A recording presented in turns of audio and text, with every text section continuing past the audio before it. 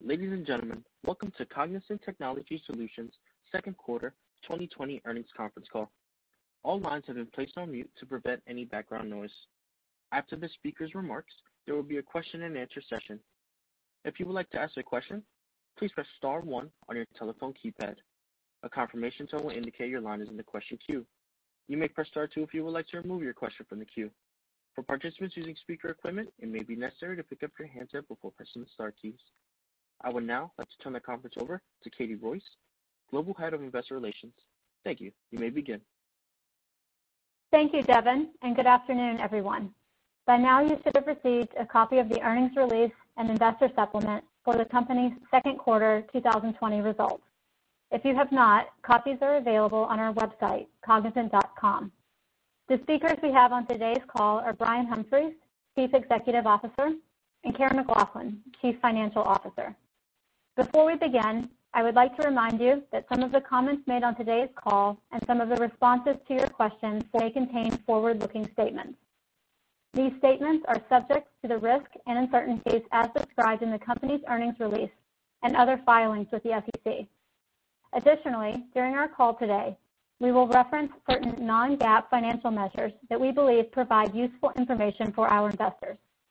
Reconciliations of non-GAAP financial measures, where appropriate, to the corresponding GAAP measures can be found in the company's earnings release and other filings with the SEC. With that, I'd now like to turn the call over to Brian Humphries. Please go ahead, Brian. Thank you, Katie, and good afternoon, everybody. Today, I would like to cover four topics with you, including a summary of our second quarter performance, an update on our purpose, vision, and strategy, some thoughts on the macro demand environment and evolving client needs, and an update on our efforts to ensure the highest levels of resiliency to our clients. Before I proceed with our second quarter earnings call, I would like to add some commentary to today's announcement that Karen McLoughlin has decided to retire from Cognizant after more than eight years as Chief Financial Officer and an incredibly successful career in the company spanning almost 17 years. During this time, Karen's role in helping Cognizant become one of the world's leading professional services companies cannot be overstated. It's been a privilege to work with Karen over the past 16 months, and I am forever indebted for her assistance and leadership. Karen, on behalf of the entire Cognizant family, I'd like to thank you for your many contributions to Cognizant. You've done a fantastic job and can be proud of your accomplishments. We wish you nothing but success in your future endeavors. We are excited to welcome Jan Siegmund to Cognizant. Jan is an accomplished executive with a wealth of experience in finance, strategy, and general management. Jan will join us in the CFO role on September 1st, 2020. Karen will continue in her capacity as CFO through August 31st, and then remain with us in an advisory role through December 31st, 2020, thereby ensuring a smooth CFO transition. Most recently, Jan served as Chief Financial Officer of ADP, a role that he held for seven years. It follows that many of you will recognize his name and will have experience engaging with Jan in the past. You will understand, therefore, why he's the right choice to be our next CFO, and why I look forward to working alongside him. Now let's go back to our earnings. I'm pleased with our second quarter performance. Faced with the unprecedented challenges of a global pandemic and a ransomware attack that impacted our operations, we executed well. We stayed true to our digital strategy and fulfilled our responsibilities to our multiple stakeholders, including our associates, our clients, our shareholders, and the communities in which we operate. Second quarter revenue was $4 billion, a decline of 2.5% year-over-year in constant currency. This included a negative 120 basis point impact from the exit of certain non-strategic content service business, which we announced in Q3 2019. We have now fully exited this subset of services. Our associates are the true heroes of the quarter, not just in my eyes, but also in the eyes of our clients who are at the center of everything we do.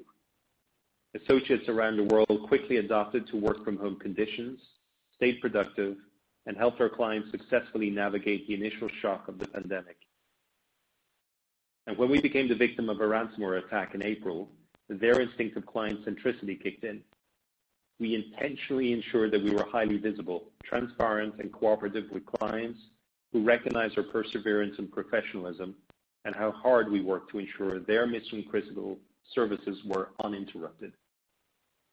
Therefore, I want to thank our leadership team and all our associates throughout the world for their dedication to our clients and their contribution to our performance in the quarter. We continue to prioritize the health and safety of our associates. We communicate regularly and transparently with them and have equipped them for virtual working and rewarded a large portion of our associate base with a 25% salary increase payment for the month of April to recognize their extraordinary continuity of services efforts. People are at the heart of our business, so employee engagement is therefore critical, and I'm pleased to report that our recent annual company-wide people engagement survey shows that our engagement scores are up across all major categories. Karen will bring you through the details of the quarter, but I wanted to emphasize two salient points. First, we are gaining commercial momentum. This is illustrated by our bookings trend, which grew 14% year-over-year in the first half of 2020, notwithstanding the challenges we faced in the quarter. North America, which grew 25% plus in the first half, is particularly strong. This was offset by declines in global growth markets, given the signature of the Samlink agreement in Q2 2019. Excluding the impact of Samlink, total company bookings grew 25% plus in the first half of 2020, and global growth market bookings grew in the mid-teens. Our bookings momentum is broad-based across our service lines and industries. Bookings accelerated through Q2, with June being an exceptional month. Moreover, leading indicators are strong, with qualified pipeline up double digits year-over-year, and win rates continue to be solid. Second, we are making noteworthy progress in digital. In the second quarter, revenue in digital grew 14% year-over-year and now represents 42% of our digital of our company revenue mix. First half 2020 digital bookings growth of almost 50% was fueled by digital engineering, AI and analytics, interactive, and software as a service. I'm confident that our digital momentum will continue given the strength of leading indicators. Clients are also highly receptive to Cognizant's digital capabilities, given not just our strong portfolio and strong customer satisfaction, but also their desire to see us challenge digital incumbents. Importantly, this becomes a virtuous circle, as the greater our digital mix, the greater our overall company growth prospects. This takes me to my second topic, which is about purpose and vision and their connection to engagement values and our strategy. The executive leadership team and I have given a great deal of thought to how we optimize the engagement we get from our 280,000-person knowledge business, which spans multi-generational and a diverse workforce. In recent months, we set out to develop and communicate a purpose and vision statement, as well as reviewing the values that establish how we work. We believe this is an important and is part of our long-term success, and we will be rolling out what we're calling the Cognizant Agenda to the entire company in August. It's worth taking a moment to run through the key elements of this. We define Cognizant's purpose this way: We engineer modern businesses to improve everyday life. This statement explains why we're in business and serves as our inspirational North Star and driving force. Our purpose also conveys that while we are a B2B company, the work we do with and for our clients helps improve the lives of billions of people. Most important, it rings true with our culture, as evidenced by how well we dealt with the unprecedented challenges of recent months. To measure how well we're living our purpose and clarify what we aspire to achieve, we set out a vision to become the preeminent technology services partner to the Global 2000 C-suite. This is where our strategy comes into play as we aim to execute a series of bold moves to realize our vision. And These actions call for us to accelerate digital, optimize our core business, transform our commercial model, supercharge our talent, and enhance our reputation. Accelerating digital is at the heart of our strategy, and I have two fundamental beliefs on this topic. First, we are still in the early stages of digital, and the COVID-19 pandemic is single-handedly significantly accelerating the shift to digital. And Second, Cognizant has the global scale, portfolio, and strategic client relationships to be one of the single biggest beneficiaries of this shift in the coming years. Put simply, digital creates an enormous opportunity for Cognizant, and we intend to capture this. While the industry has been talking about digital transformation for years, many companies have yet to make the transition to a fully digital operating model, instead digitizing only select operations. In a matter of months, COVID-19 has exposed the extent of the digital divide between digital natives and traditional companies. Migrating infrastructure, application, and data estates to a more flexible, resilient, and cost-effective cloud architecture is a start, but in itself insufficient. Clients are increasingly shifting their focus to modernizing their core processes to be truly agile so that they can continually improve the value proposition and experience they offer to their customers and employees. And our strategy is built on our ability to leverage our strength in the applications and data management services layers to enable agile workflows so our clients can deliver customer and business value simultaneously. To fully execute this strategy, we will draw on our broad portfolio and our rich heritage of delivery excellence, partnering with our clients to deliver business outcomes with innovative solutions that leverage our internal capabilities and those of our partner ecosystem. Winning in digital requires a broad ecosystem of partners, and therefore, as cloud computing has changed the way IT is delivered across infrastructure, applications, and platforms, we have meaningfully increased our partnership focus and investments with all three leading hyperscale companies and our most strategic software-as-a-service partners. We have complemented organic investments with a targeted M&A strategy focused 100% on digital. Earlier in the quarter, we closed the acquisition of Collaborative Solutions, one of the world's largest Workday consultancies.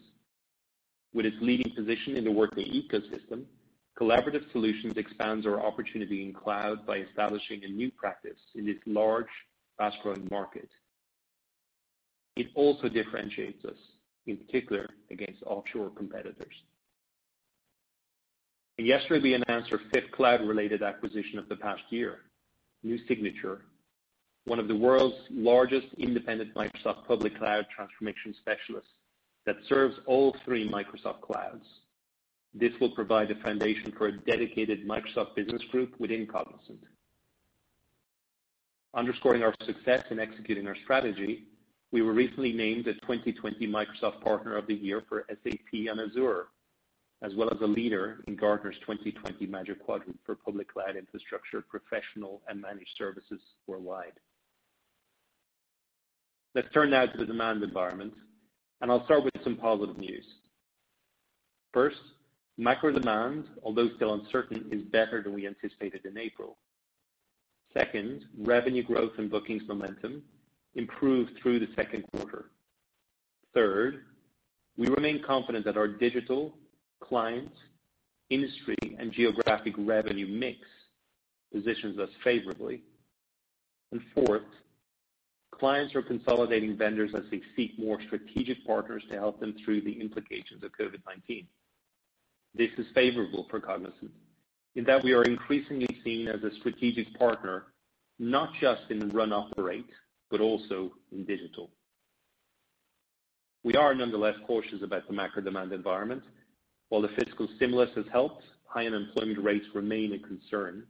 COVID-19 cases are on the rise in many states and countries, and many of the C-suite executives I speak with are bracing for a period of prolonged economic disruption. Therefore, the prudent path forward may be one of continued caution. This means continued rigor on discretionary spending, the protection of key skills, and targeted investments for growth. What does the future hold? We believe the implications of the pandemic will be broad and lasting. The nature of work and of society will change across many dimensions, including how we interact, communicate, embrace technology, and think about risk. The practical implications of business are consequential and go well beyond the return to office timelines, business continuity planning, the question of the shift to virtual agile, or questions about the future of business travel or commercial real estate policies, both of which I believe will be changed forever. I speak with clients and prospects every single day, and many seem to be moving through three broad stages. First, a commitment to keep their employees safe and their businesses running without interruption. Second, an adoption phase to the new normal, which includes the considerable technological and human implications of working from anywhere. Third, the need to truly embrace digital to stay competitive. This requires them to fully modernize their businesses across infrastructure, data, and applications. There's an increasing recognition that we are in a mobile, virtual, and personal era, where clients and employees expect always-on and ubiquitous consumer-grade software experiences with rich visualization tools, data integration, and data protection. These needs are reflected in changing client needs and buying behavior. We see clients embrace agile development and platforms and microservices that foster innovation, unlock the power of data, and offer efficiency, security, scalability, and agility. This requirement aligns directly with our strategy to win in digital, including cloud, AI and analytics, digital engineering, and IoT. To help clients grapple with the changes wrought by COVID-19, we've also developed capabilities to help them prosper in the post-COVID world. These offerings, which span our portfolio, include the following. Virtual Workplace, an enterprise-level solution that helps companies achieve resilience and maintain productivity even amid massive disruption. Data Modernization, which helps clients fix how they source, interpret, and consume information through flexible data structures and a modern data and analytics platform. And Cognizant Safe Buildings, which combines layered prevention controls with instrumentation, data analytics, and digital technologies to help make buildings safer for occupants by providing robust monitoring and visualization capabilities. Recognize, too, that COVID-19 coincided with a period of societal turmoil amid significant questions about racial justice, globalization, and corporate social responsibility. Now, Not only are clients' businesses and technological requirements changing, but so too are the demands of their vendors. I'm pleased to underscore our intensified commitment to social responsibility. Cognizant and its foundations have a long history of contributing to the health, well-being, education, and progress of the communities in which we live and work. In April, for example, we announced an initial 10 million philanthropic commitment to support communities around the world in addressing COVID-19's immediate and long-term impacts. In June, the Cognizant U.S. Foundation announced a $5 million commitment to communities of color, the continuation of its long-standing work to advance education, training, and career pathways for underrepresented populations across the U.S. And in late 2019, as we announced our decision to exit a subset of content moderation, we allocated $5 million to fund research aimed at reducing users' exposure to objectionable content. We're also proud to support global work to remediate COVID-19. More than 100,000 researchers and clinicians are now using our shared investigator platform, a life sciences software as a service solution. And some of their work is focused on accelerating the development of COVID-19 therapies through virtual clinical trial processes. We're also providing a team of our life sciences experts to support Verily, the health and life sciences company of Alphabet, with its baseline COVID-19 testing program to increase individuals' access to test scheduling. In the wake of the unprecedented twin challenges of COVID-19 and a ransomware attack, we, like many of our clients, are increasingly focused on improving our business resiliency, especially within our delivery and technology organizations. Let me first address delivery. While I'm extremely proud of our delivery team and how well they enabled the safety of our associates and continuity of mission-critical services for our clients, the pandemic highlighted the need to increase the robustness and resiliency of our delivery operations. We are taking a fresh look at our delivery organization and defining a next-generation delivery model that will extend the work we've done in recent years to further globalize our network of delivery centers across the globe, which will complement our India hub. This will ensure greater resiliency, enable us to better service our clients' needs for scrum teams nearshore and onshore, and give us greater access to global talent. Automation will, of course, be pervasive throughout. And On the point of technology, I've appointed a new head of technology and strategy who will report directly to me and focus on informing our strategy, digitizing our business, and strengthening our IT and security capabilities. Their first priority when they start next week on August 3rd will be to complete our IT and security remediation efforts. We've devoted substantial time and resources towards remediation, and as a result, have made significant progress in recent months. Not only have we essentially completely contained and eradicated the ransomware, we've also begun what we expect will be a multi-quarter initiative to refresh and strengthen our approach to security. A subcommittee of the board of directors will help me provide oversight of this effort, which is being conducted in conjunction with external security experts. In closing, for several quarters, I've been speaking with you about our multi-year effort to reposition Cognizant to achieve its full growth potential as we execute the initiatives of the transformation office. We've not let COVID-19 or ransomware distract us from this work, but we've made steady progress across many dimensions, including accelerating our digital strategy, globalizing Cognizant, and increasing our relevance to clients. These teams require ongoing investments, including our portfolio, our brands, our talent, and our partnerships. While more work is needed in the quarters ahead, I am confident about Cognizant's growing stature and our competitive position. We are controlling what we can control, making progress in our competitiveness relative to peers, and positioning ourselves for commercial momentum. With that, I'll turn the call over to Karen, who will now take you through the details of the quarter and our outlook before going to questions and answers. Karen, over to you. Thank you, Brian, and good afternoon, everyone. Before I start with my prepared remarks, I'd like to take a moment to say that my 17 years at Cognizant have been more rewarding than I could have ever imagined. During my eight years as CFO, we have grown from 138,000 associates and about 6.1 billion in annual revenue to over 280,000 associates and over 16 billion in annual revenue today, and I am very proud of our achievements along the way.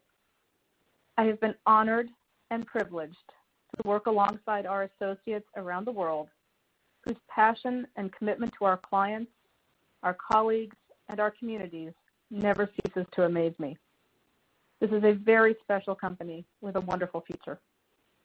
I am so pleased to pass the baton to Jan Siegmund, who, as many of you know, is a very accomplished executive. I am confident Jan will do a wonderful job working alongside Brian and the rest of the Cognizant team to lead the company forward. In the meantime, I look forward to working with Jan, Brian, and the rest of the Cognizant team through the end of the year to ensure a smooth transition. Now let me turn to our results. Second quarter revenue of $4 billion declined 3.4% year-over-year, or 2.5% in constant currency, including a negative 120 basis point impact from the exit of certain content-related services and a negative 90 basis points from the ransomware attack impact on fulfillment, the latter of which was skewed towards our financial services and healthcare segments. After working through COVID-19 related fulfillment challenges early in the quarter, we saw improved momentum in May and June, driven by double-digit growth in our digital service offerings, particularly in areas such as cloud and enterprise application services, IT modernization, and digital engineering. Moving to the industry verticals, where all of the growth rates provided will be year-over-year in constant currency. Financial services declined 4.3%, with softness in both banking and insurance. We continue to see weakness across global banking accounts. Capital markets, which is roughly 40% of total banking revenue, continues to be under the most pressure. And additionally, the macro backdrop has negatively impacted clients in the payment sector, particularly those with significant exposure to travel and hospitality volumes. Healthcare grew 2.2%, led by strong double-digit growth in life sciences in Europe, primarily driven by the Zenith Technologies acquisition. Within our healthcare vertical, revenue declined low single digits. I want to highlight that the leading indicators of our healthcare business, including software license sales, new logos, qualified pipeline, and bookings, are significantly better than one year ago. Products and resources declined 5%, with double-digit growth in manufacturing, logistics, energy, and utilities, offset by double-digit declines in travel and hospitality and retail and consumer goods, where we expect continued pressure in the second half of the year as a result of the ongoing pandemic. In manufacturing and logistics, we are expanding our wallet share with our largest accounts and saw an uptick in deal wins leveraging our strengthened partnerships with both cloud and SaaS providers. Communications, media, and technology declined 3.2%, including the approximately negative $48 million impact to technology from our decision to exit certain portions of our content services business, where the vast majority of our work has now ramped down.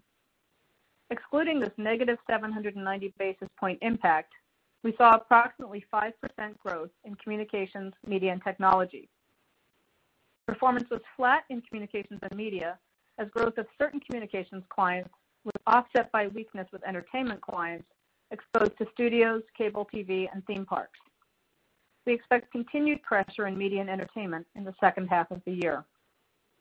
Overall, the demand environment in the second half remains uncertain, but we believe that we are gaining competitiveness across industries. As Brian mentioned, bookings and pipeline are solid, and we've made progress strengthening our partnerships. Here are a few examples of how we are working with our strategic technology partners. A client in the toll road operator business had legacy systems located in primary and backup data centers just a mile apart from each other, jeopardizing resiliency. The client was also experiencing reliability and performance issues with its commercial back office and CRM business applications. We migrated their on-prem back office, external website, and all databases to AWS in just two months, streamlining all customer interactions. We are now building the new back office on an open-source serverless architecture, enabling annual savings of up to 40% in infrastructure operational costs. And with Verizon's ThingSpace IoT platform now integrated with Microsoft Azure, Cognizant is the first company to leverage the combined solution platform to develop its own IoT-enabled application on cold chain to support pharmaceutical and food and beverage industries impacted by the pandemic. Temperature-sensitive products can now be monitored to ensure product integrity from shipping through to the consumer. And Cognizant and Google Cloud are already working with financial services organizations to modernize legacy platforms and digitally transform core banking. For multiple banks, we are running core banking solutions based on Temenos technology with Google Cloud. Moving on to margins. In Q2, our GAAP operating margin and diluted EPS were 11.7% and $0.67 respectively. Adjusted operating margin, which excludes restructuring and COVID-related charges, was 14.1%, and our adjusted diluted EPS was $0.82. COVID-related charges were 25 million in the quarter, primarily related to the previously announced one-time salary adjustment in April that we gave to certain employees in India and the Philippines. Adjusted operating margin was down 200 basis points year-over-year due to 140 basis point impact from ransomware, including both the revenue and the cost impact, which together with higher incentive-based compensation and lower revenue, offset savings from items such as lower T&E and the favorable movement in the rupee. Margins were also negatively impacted by the downtime incurred by employees during the transition to working from home, the sudden reduction in demand late in the first quarter, and the time it took us to reduce headcount and other costs accordingly. Additionally, during the quarter, we continued to execute against the 2020 Fit for Growth plan, which is designed to improve our cost structure and fund investments aligned with our long-term growth strategy. In Q2, we incurred $59 million of charges as part of this plan, including 8 million related to the exit of a subset of our content services business. The majority of the remaining charges were related to the previously announced actions to correct our pyramid structure. Net headcount declined approximately 2.5% year-over-year, including the roughly 7,000 associates exited under the Fit for Growth plan. These cost actions, as well as increased rigor in our performance management process, are reflected in our elevated annualized attrition rate of 24%. Voluntary attrition continued the downward trend we've seen over the last four quarters to approximately 11% in Q2. Exiting Q2, the majority of the actions under Fit for Growth are complete, and we have achieved over 425 million in annualized gross run rate savings. We still expect annualized gross run rate savings of $500 million-$550 million in 2021, and charges to be in the $170 million-$200 million range. And As we have said previously, we will continue to adjust our cost structure in accordance with the macro environment while we continue to invest in areas that further our digital positioning. Savings achieved from the Fit for Growth plan are funding investments to help accelerate growth in key areas such as sales and sales support hiring, investments in accelerating the growth of our digital portfolio, marketing and branding, investments to further digitize Cognizant, enhancing the resiliency and robustness of our delivery network through increased automation and additional nearshore and onshore capabilities to further diversify our delivery footprint and provide greater access to talent, and recruiting and reskilling top talent. In the first half of 2020, we saw total learning hours consumed grow by double digits, and we are among the first companies globally to clock 1 million learning hours on key virtual learning platforms. Now turning to the balance sheet. Our cash and short-term investments balance as of June 30th stood at 4.6 billion, or net cash of $2.1 billion. Our outstanding net balances include the approximate 1.7 billion drawn on our revolving credit facility in the first quarter of 2020. In the quarter, we closed the acquisition of Collaborative Solutions, and yesterday announced that we have signed an agreement to acquire New Signature. And today, we announced that our board has authorized a quarterly cash dividend of $0.22 per share. In this environment, we continue to prioritize using our balance sheet for targeted acquisitions, and at this point, have not resumed our share repurchase program. Year to date, we have deployed $550 million on share buybacks, repurchasing over 9 million shares at an average price of $59 per share. We will continue to reevaluate the appropriate time to restart that program, which still has approximately $1.8 billion of remaining authorization. Overall, we feel that our balance sheet is very healthy and provides us the flexibility needed in the current environment to run the business while continuing to invest. We had a strong cash flow quarter, generating 886 million of free cash flow. This included the benefit of approximately 380 million in government-offered deferrals of certain tax payments in the U.S. and other jurisdictions, which will now be paid in the second half of 2020 through 2022. Excluding these benefits, free cash flow was approximately 140% of net income. DSO of 77 days was flat year-over-year. Now turning to guidance. The macroeconomic environment remains uncertain, and the pace of recovery complicated by the evolving nature of the coronavirus pandemic. So there continues to be a number of factors that we may not be able to accurately predict. Additionally, while we are pleased with the solid bookings and pipeline numbers we've seen in the business year to date, how that pipeline converts to revenue will likely correspond to the pace of economic recovery, and thus clients' confidence in spend. That said, we do believe we have better visibility in the business today than when we reported our Q1 earnings in May, and therefore are providing full year 2020 guidance. For the full year 2020, we expect revenue to decline in the range of 2% to down 0.5% year-over-year in constant currency.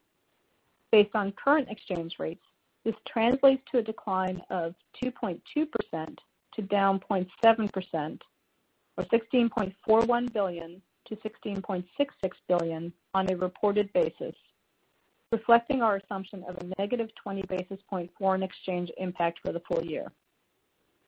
This includes our estimate of a negative impact of approximately 130 basis points to revenue year-over-year in both Q3 and Q4 from our decision to exit certain work within our content services business, which will be reflected in our CMT segment.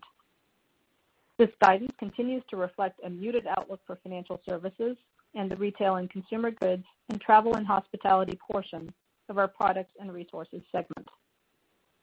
For the full year 2020, we expect adjusted operating margins to be approximately 15%, which assumes incremental costs associated with the remediation of the ransomware attack, wage increases and promotions for certain of our associates effective October 1st, and incentive compensation above 2019 levels.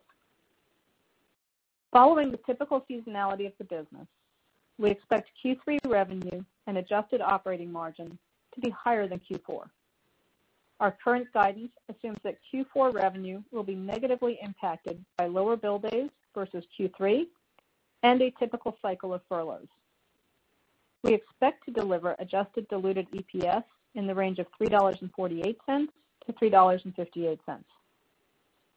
This guidance anticipates a full-year share count of approximately 543 million shares and a tax rate of approximately 27% in the second half of the year.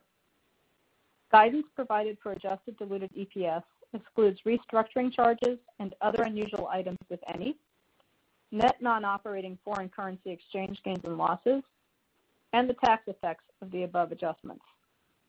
Our guidance does not account for any potential impact from events like changes to immigration or tax policies. With that, operator, we can open the call for questions. At this time, we will be conducting a question and answer session.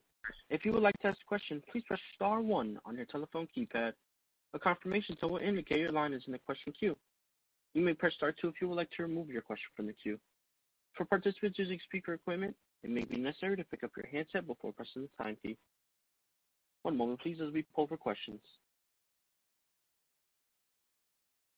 Our first question comes from the line of Bryan Bergin with Cowen. Please proceed with your question. Hi, good afternoon. Thank you. Uh, Karen, wanted to wish you good luck. Thank you, Bryan.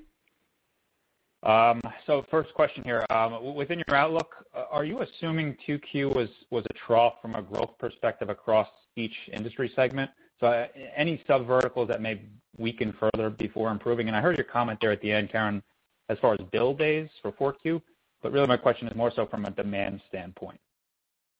Yeah. So I think, uh, and so I'll ask uh, Brian to also chime in, but I think from a demand perspective, um, we're predicting relatively consistent trends as we move into the back part of the year as we saw in Q2. Certainly, as we said on the call in our prepared remarks, um, travel and hospitality, retail and consumer goods, we expect will continue to be under significant pressure uh, in the back part of the year. Similarly, we are not expecting any significant recovery in uh, financial services, whether that be either banking or insurance. Um but I do think uh, healthcare, certainly, um, we continue to expect some improvement in healthcare as we get into the back part of the year. We had talked earlier in Q1, obviously, that in Q2, barring what happened with COVID and with ransomware, that the healthcare payer business would have started to get stronger. And certainly, we've seen strengthening in their pipeline. Uh, and then we would expect to see continued good growth from our uh, MANLOG, so manufacturing, energy, and utilities business, as well as uh, life sciences and the tech business once we back out the content services business. So I think really, generally speaking, the same trends that we've seen in recent months. Okay. Uh, just on the bookings number, can you give us a sense on on how much of this is new versus renewals? Brian, can you clarify that the 25% figure you noted, I thought I heard it was an ex-Samlink. Is that accurate? And is this an area, as you think about bookings, is this something you intend to provide more disclosure on going forward? Uh, hi, Brian. So um yes, we grew bookings 14% in the first half, uh, with particular strength in digital, which grew almost 50% in the first half. And then a few industries like healthcare uh, also grew very strong, so too did insurance. Um, the reference we made to um, Samlink related to our global growth markets bookings, North America grew 25%+ plus in the first half. Global growth markets was down, but in Q2, in the prior year period, we had our biggest deal in a long long time. And I hate to normalize for bookings, and that's not a habit you should expect me to talk about very often. But were you to exclude that, global growth markets also grew uh, 15%+ plus in the first half of the year, and the total company grew 25%. Uh, look, to be honest, when we start thinking about then the RAD model and then hunting versus farming, we actually feel very good about our momentum, both in renewals as well as in new business. We've also clearly tracked the new hires of the 500+ people, of which about two-thirds were quota-bearing and the rest were support. Um, we see those to have been self-funding in the first half of this year, and they're bringing through good TCV at decent margins, which more than covers the cost of those resources. So it gives us food for thought in terms of continuing to invest for growth on a go-forward basis. Our next question comes from the line of Edward Caso with Wells Fargo. Please proceed with your question. Um, hi. Good evening. Uh, all the best, Karen. Um, can you talk a little bit about the contribution from the acquisitions? Um, I'm thinking that um, Collaborative was on the 150 million per year range and Signature in the sort of the $50 million-$60 million range.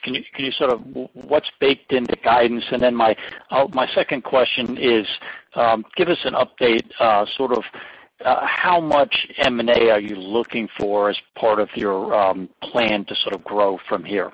Thank you. Um, I can take that, Ed, and then Brian can chime in about the future. But uh, First of all, thank you for the the nice comment.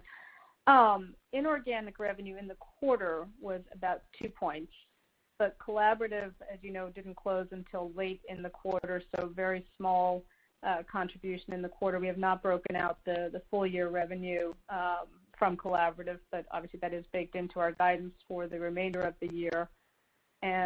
New Signature, again, we've signed it, but we have not closed and do not expect to close until later this quarter. So in terms of the uh, the back half of the year, it will have a very small uh, immaterial impact on revenue. But, Brian, perhaps you want to talk about acquisitions going forward. Uh, hi, Ed. Uh, first of all, I don't really wake up in the morning and think about how many points of growth I want to achieve next year uh, from M&A. I think about the portfolio and our strategy and where we have gaps and where there are logical plays that can complement what we're setting out to achieve. Uh and as you know, first and foremost, our strategy is all about accelerating digital, and therefore, the five or so deals we've done have always been 100% aligned to to digital, which is why I think we've been able to feel good about deploying capital, and the board obviously have been very supportive of us in that regard as well. Um, I will continue to use M&A as a means to support the strategy. Um, we'll do it thoughtfully, of course. Um, and I don't want anybody to feel as though we take anything for granted. But uh, in the same vein, we are organically investing uh, behind our strategic priorities. So while we've done a series of cloud acquisitions in the last year, we have also set aside tens of millions of dollars to invest in hyperscale partners and SaaS vendors with a view to accelerating our our cloud practices. Our next question comes from the line of Lisa Ellis with MoffettNathanson. Please proceed with your question. Hi, good afternoon, and thanks for taking my question. First, congratulations, Karen, of course, and we'll miss you. Brian, can you just comment based on what you're seeing with clients in the sales pipeline, how confident you are that the IT spending will remain strong as we sort of transition out of pandemic mode into recession mode? I mean, so far it's been just remarkably strong, but obviously typically in a recession it dips. So you know, how what's your sort of confidence, or how would you handicap that as you're looking out through the rest of the year? Thank you. Yeah, look, it's a broad question, Lisa, but um, macro demand for the services sector, as you know, came in stronger than expected in this earnings cycle. And and I actually believe that within that, we as a company are becoming much more competitive and hopefully our bookings trends and our win rates and qualified pipeline uh, illustrate that, uh, as indeed does our digital growth and our digital mix, which augurs well for our future. Uh, I'm seeing trends of substantial acceleration through the second quarter, both in terms of bookings and indeed in terms of revenue. Uh, I'm also seeing trends amongst clients where budgets are certainly being reduced in the run operate space, and therefore pricing pressure follows. So Of course, automation and efficiencies and industrialization is important, uh, as is knowing what to build yourself versus what to partner on. But Clearly digital is accelerating, and I actually believe that COVID will single-handedly, meaningfully accelerate digital, and clients will realize that digital transformation is not one or two outliers in the portfolio. They fundamentally have to get through use cases and workflows, uh, and make sure that they digitize all of that for the benefit of their clients and indeed their employees. Um, digital for us grew, from a bookings point of view, 50% in the first half of the year. And what was very interesting for me as you go through the data and interrogate it, is that uh, about 75% of our digital bookings in the quarter entered the pipeline since Q1, i.e., in the first six months of the year, uh, with about 50% of the bookings being created and closed in the same quarter. So there is tremendous velocity uh, through the channel as well. I also think clients are looking at opportunities to consolidate vendors, certainly as they're looking for commercial constructs or financial constructs that are appealing to them. They're looking at companies with strong balance sheets, companies that are willing to invest. And Lisa, I think these trends are favorable to Cognizant. Uh, If I've heard it once, I've heard it 20 times in the last month or two, that Cognizant showing up more favorably is ultimately illustrative of the fact that we are unquestionably strong in run operate, but increasingly accepted as a viable challenger brand in digital. And Therefore, in any consolidation play, we will naturally, in my opinion, figure amongst the down select. So I feel very, very good about our competitive position, our relative strength. We're closing the gap to the competitors, as you've seen, and I'm confident that clients will continue to spend in the second half, but along the lines of what I articulated. Last but not least, there are some large opportunities in the pipeline. Certainly, the industry or the competitors have also talked about those. In some cases, people are looking at reviewing their captive strategies, et cetera. I am absolutely focused on digital acceleration. We will continue to look at run operate and taking over some captives, but we always look about the notion of whether those businesses are accretive to our growth CAGR or dilutive. And while one can get a year-over-year quick apples to orange compare and a benefit, we're ultimately trying to build a book of business that is allowing us to have a faster CAGR growth profile into the future, as is the case with the companies we have been acquiring. Our next question comes from the line of Keith Bachman with Bank of Montreal. Please proceed with your question. Hi. Thank you very much.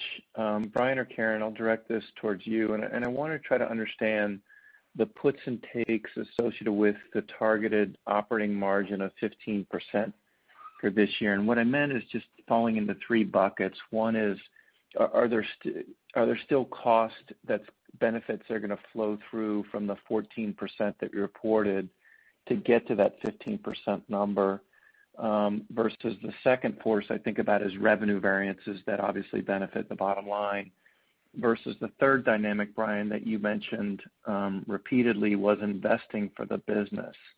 And so I'm just wondering, what are the drivers? And part of the reason why I want to understand the second half dynamics, but also as a jumping off point as we begin to think about uh, calendar year 2021.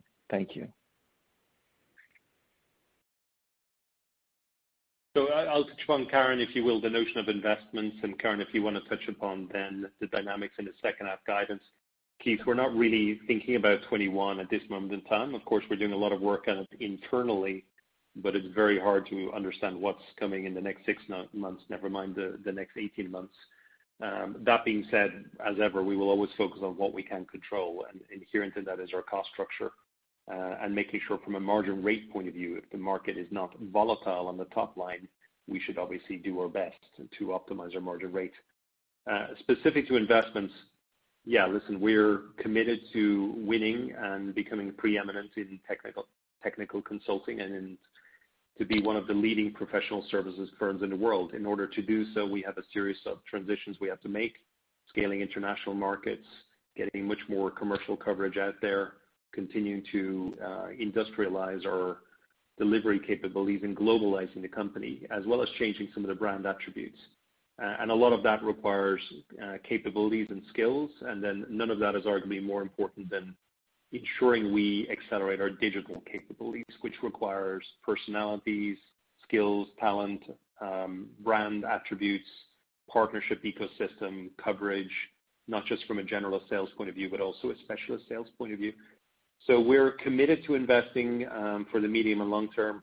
As you know, I take my quarters very seriously, so we like to manage against our commitments in the short term. But the fundamental principle we're setting out to achieve here is to accelerate on the medium term the growth profile of the company to get back to what we've always been good at, and inherent in that will be continued investments in the company. That's what we did and set out to achieve in 2020. Notwithstanding COVID and ransomware, we have still stayed true to our strategy of investing in digital, investing in sales coverage, uh, and so too will you see us take the same principles into 2021. Karen, over to you for the second half guidance. Sure. Thanks, Brian. Uh, and hi, Keith. Um, so I think in terms of how we thought about the second half margin guidance, we said approximately 15% for the full year, which puts the second half at about 15.2%. Um, if you think about what happened in the first half of the year, uh, Q2 margins came in at 14.1%, and then for the first half, we were at 15.2. As we look forward, and I think about this more sequentially uh, as we get into the back part of the year, obviously, you know, the COVID, any COVID fulfillment issues and the uh, revenue impact from Maze are behind us, but we will continue to have remediation costs as we get into the back part of the year. We have uh, wages and promotions that, as we said, will take place in um, as effective as of October, so that will certainly put pressure on the Q4 margins. And then, obviously, we're not expecting a significant acceleration uh, in revenue based on the guidance that we've uh, provided on a sequential basis. So those are really the the biggest pieces of this. Uh, and then additionally, obviously, we've got the acquisition. So anytime we close an acquisition, there are obviously deal costs and integration costs and so forth, which, uh, while not individually material, uh, certainly as we look forward sequentially uh, into the back part of the year, just given the timing of the acquisitions, both when Collaborative closed late in Q2 as well as the New Signature deal in the back half of the year will put a little bit of pressure on those margins as we get into the back half of the year. Our next question comes to the line of Moshe Katri with Wedbush Securities. Please proceed with your question. Hey, thanks. Um, great working with you, Karen, and best of luck. Um, a couple of things. First, uh, maybe to Brian, uh, are you comfortable that uh, you're done with some of the actions that you wanted to take, I guess, on the sales front, on the executive team front? Um, and maybe can you give us some color on where we are in terms of attrition, more on the senior side of the headcount? Thanks. Yeah. From from an executive committee point of view, um, there are a few more changes that are happening that we've spoken about previously. Um, we've upgraded the profile of the managing director role in India to be a direct report to the executive committee, to me. Uh and therefore, we have a search underway, and that will ensure we have somebody based in India who will represent our 200,000 employees in India. Uh, we'd expect to fill that in the coming months. Uh, we also have a global growth markets um, interim leader at the moment who's doing a fantastic job for us. And we actually have signed somebody who will join the company in the foreseeable future. However, I am not today at liberty to announce who that person is. Uh but that being said, the executive committee now is my team. We're fully on board, fully committed, driving in the same direction. And I actually feel now I have a team, a world-class organization around me to bring this company forward. And I know Jan has big shoes to fill from Karen, but he will step in, and I think culturally will be a great fit for us. With regards to the rest of the organization, voluntary attrition has declined now to about 10.5%, and this is the fourth quarter in a row that we've had voluntary attrition declines. Uh but in the same vein, what we have been doing very intentionally has been to continue to deploy much more of a performance orientation in the company, which means that we are now removing the underperformers on an annual basis. Then on top of that, given the volatility we've seen in the top line in the early part of this year, notably because of COVID, it goes without saying that we have responsibilities vis-a-vis our shareholders, yes, to protect digital skills, but in the same vein, we also have to protect the bottom line uh, by optimizing our team and our bench around the revenue curve. And that's why you've seen in recent quarters a disparity between total attrition levels versus voluntary attrition levels or involuntary levels. And if you look at the supplementary slides, we've actually now started breaking that out on a quarterly basis, so you'll see a four-quarter trend emerge. I feel very good about the direction we're taking the company. Uh, we have just completed, actually, earlier this year, uh, what we call Cognizant's People Engagement Survey.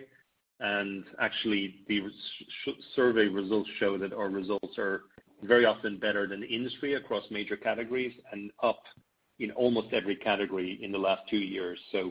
I think morale is actually picking up. I think when we execute well, and I believe our employees were the heroes of this quarter, despite an extremely challenging environment, we executed well and delivered against our commitments, and I think success breeds success.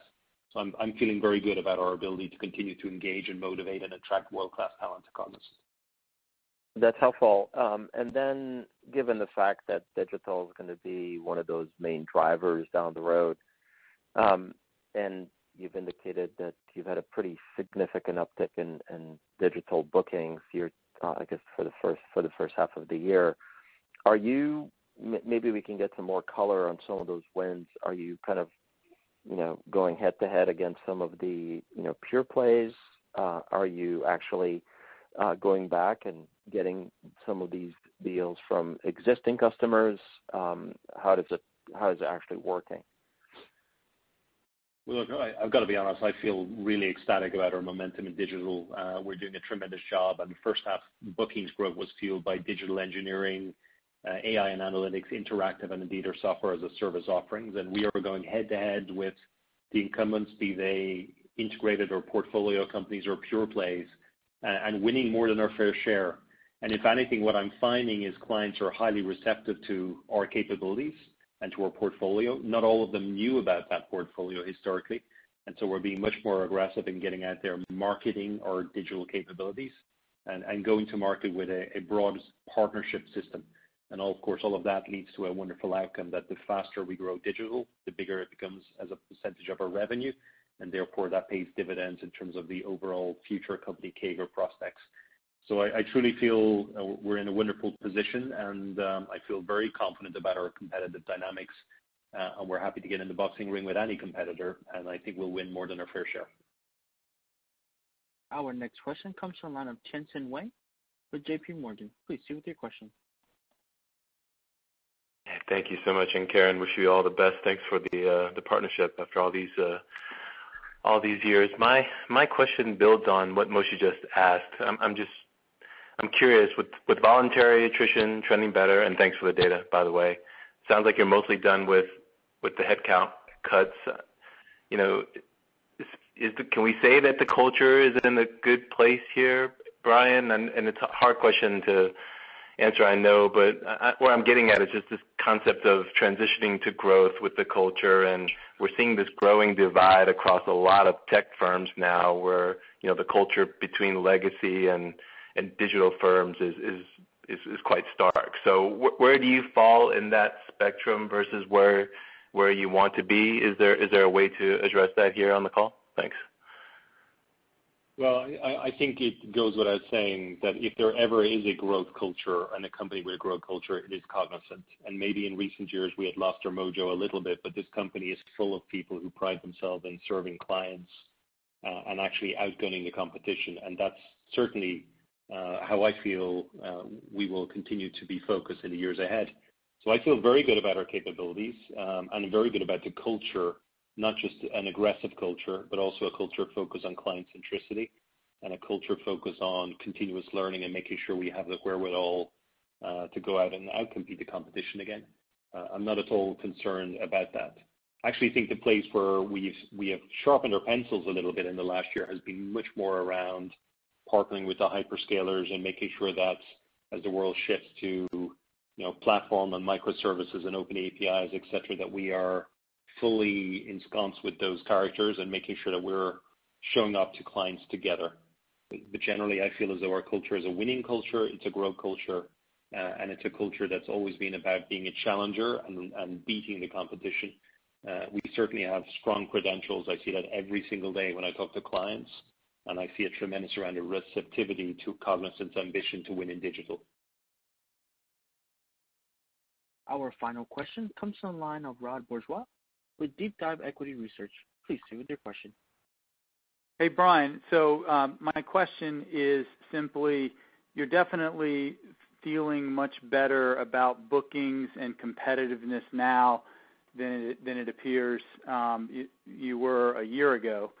Um, can you just articulate what's the main change that's happened that's giving you this added confidence? And how much of the change is the market turning maybe more in your favor vertically and with certain parts of digital? And how much of it is, you know, you talk about client centricity, you know, changing the culture and so on. Can you articulate what the main thing that's recently changed that's making your outlook on competitiveness sound so much better? Well, I think first of all, the quality of the dialogue that we're having as an executive committee, the level of engagement, the level of harmony at the executive team is now truly what I would term world-class. We are all in this together. We're all partnering and teaming, and we've got the whole organization, I think, motivated to win. And um I don't want to underestimate the benefit of having a focus on growth and a reinvigorated focus on client centricity. I think at a client partner level, we've had that over the years, but perhaps in more recent years, we had a number of distractions uh, on the outside and perhaps even some financial model changes that um, didn't allow us to do what I think we need to do. So I feel very good about the the harmony of the team, the level of energy, and frankly, that is permeating throughout the entire organization. And there's just, a, again, once again, somewhat of a feel-good factor happening in Cognizant these days. I think also, you know, we have better instrumentation on the business. I think we have got much more data now at our fingertips than we had a year ago. Uh, and we've got stronger partnerships than we had perhaps a year ago. And generally, I think this has not been an easy 15 or 16 months. There's been a lot of work, and this last few months have been particularly challenging, as everybody can imagine, given macro as well as micro elements that are at play vis-a-vis Cognizant. But um the other thing, digital is a bigger portion of our mix. And let's face it, that's where the growth is in the market. My board have been extremely supportive of our ambitions to scale there. The organic investments are for me and my leadership team to work through, but when it comes to deploying the balance sheet, we obviously have close communication and coordination with the board of directors, and we have been aggressively moving. Uh, in in turn, we have scaled out our capabilities meaningfully. And you know, acquisitions like Collaborative Solutions work wonders because our pipeline immediately builds in some of our existing accounts. New Signature, similarly, I think you'll see uh, our ability to scale the Microsoft business practice rapidly. So I just think the portfolio is broader. The leadership team are more harmonious. There's more energy, uh, and we're completely focused on winning again, and any external distractions of the last few years are 100% behind us at this moment in time. Hi, this is Katie. Um, I just want to say thank you all for joining and for your questions. I think that's all the time that we have for tonight. Once again, thank you for joining us on today's conference call. You may now disconnect your lines at this time, and have a